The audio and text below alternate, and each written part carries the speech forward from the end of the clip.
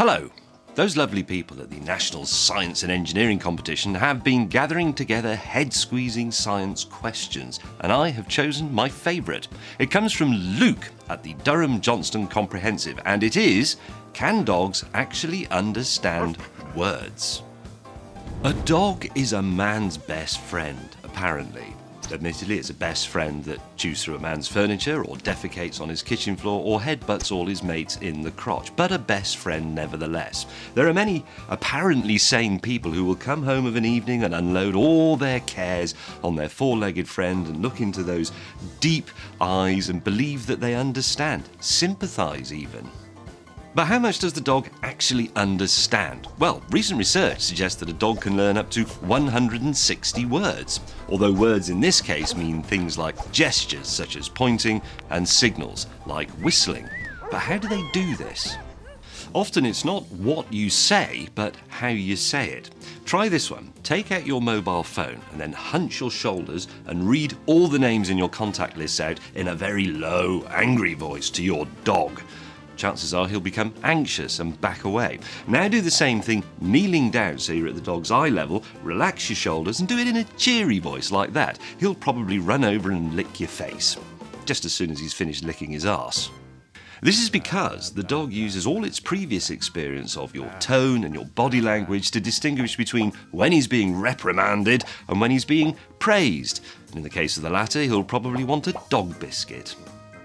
Some dogs can retain as much information as a parrot or even an ape, and if the owner of a dog uses the same word over and over again to refer to an object or an action, the dog will eventually correlate the two. So the cry of walkies sends him bounding to the door, whereas the cry of bath will send him cowering under the bed.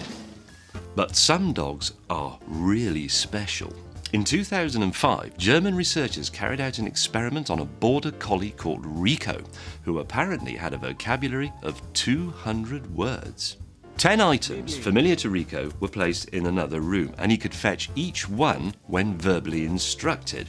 And then, if an unfamiliar item was added in the other room, he could still fetch that by a process of elimination around 70% of the time.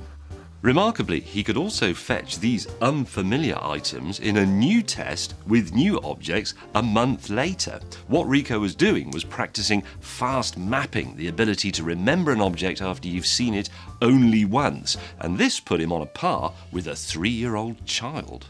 Except, of course, that a three year old child can understand an abstract concept. So, to the child, the word crayon could also be associated with a drawing. But to Rico, the word crayon simply meant fetch the crayon and you'll get a pat on the head. Still, good dog. Sadly, not all animals are equal, and certainly not all dogs. Along with Border Collies, the brightest breeds include the German Shepherd, the Poodle, and the Golden Retriever whilst at the other end of the scale, the runts of the litter are the Chow Chow, the Bulldog, and bottom of the pile, the Afghan Hound. But this is only because those breeds at the top are the newest, and humans have been hardwiring and programming them since they arrived. But let's keep a sense of perspective about this. If your dog's called Fido and you come home from a bad day at work and say, Fido, I've had a terrible day and I hate my boss, chances are the only word he'll understand is Fido.